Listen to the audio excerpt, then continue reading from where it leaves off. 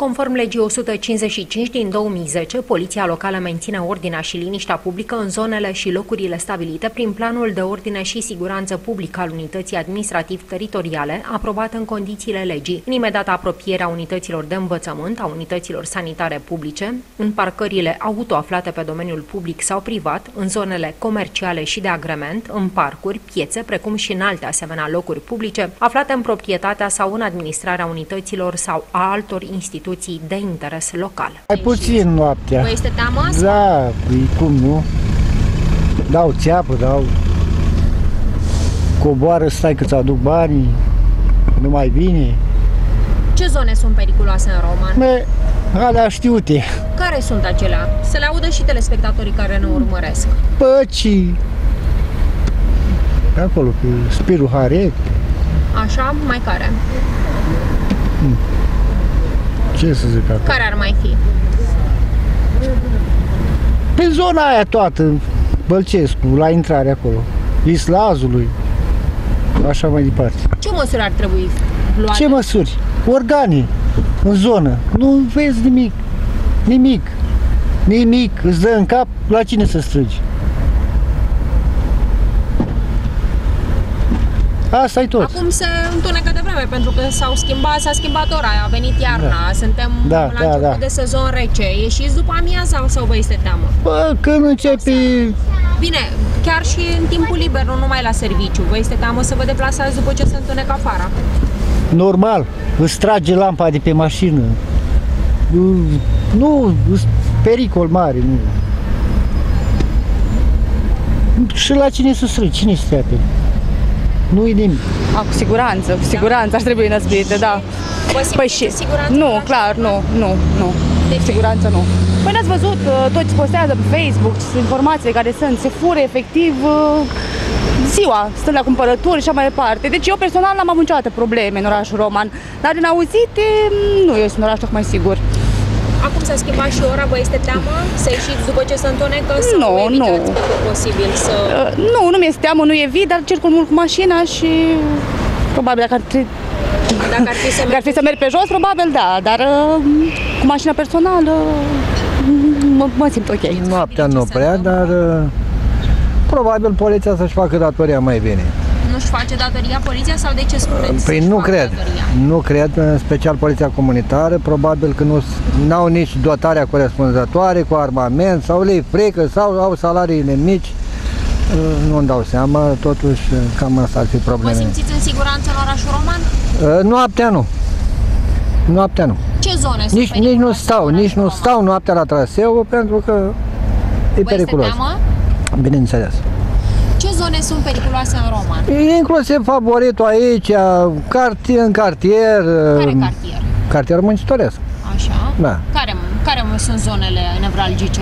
Păi, v-am zis, cam astea sunt. Doar acestea atât? Da, da, da. Deci favorit Am avut cartierul probleme, da, da, muncitoresc? da, da, da, Acestea două da, ar fi da. În principalele special zone. uh, noaptea, da, da. În special noaptea. Da.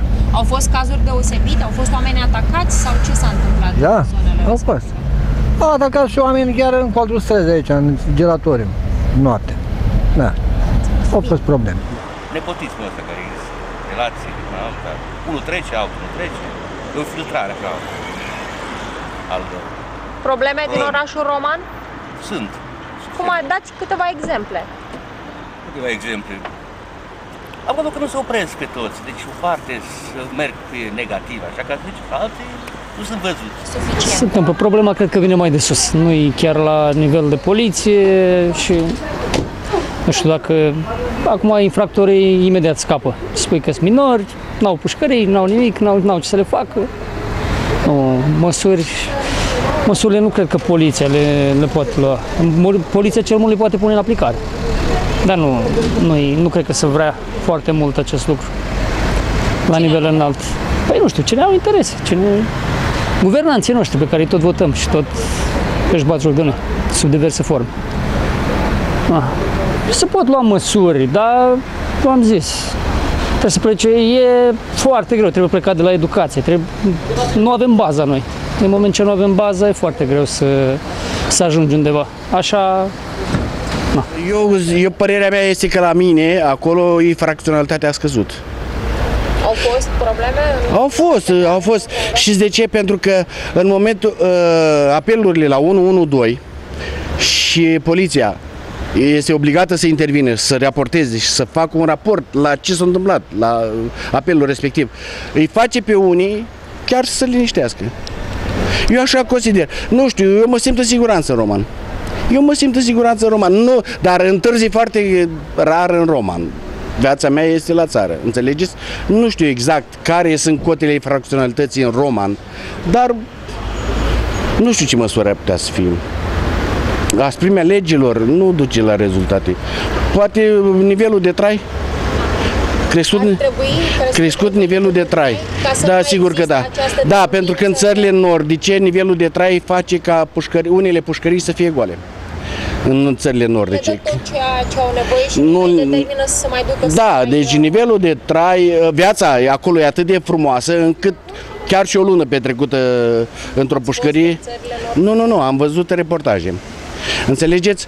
Cred că ridicarea nivelului de trai, educarea populației, adică educarea, mai multă școală. Mai multă școală.